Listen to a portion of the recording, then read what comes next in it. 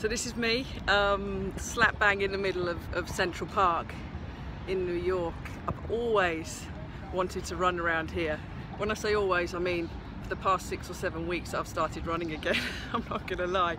I was desperate to get back. It's my first run back after 10 days off after a, a, a grade one calf tear and I know I shouldn't have done it but I banged out four and a half miles only at about 10 minute pace but boy it feels good to be back. I've really missed the running.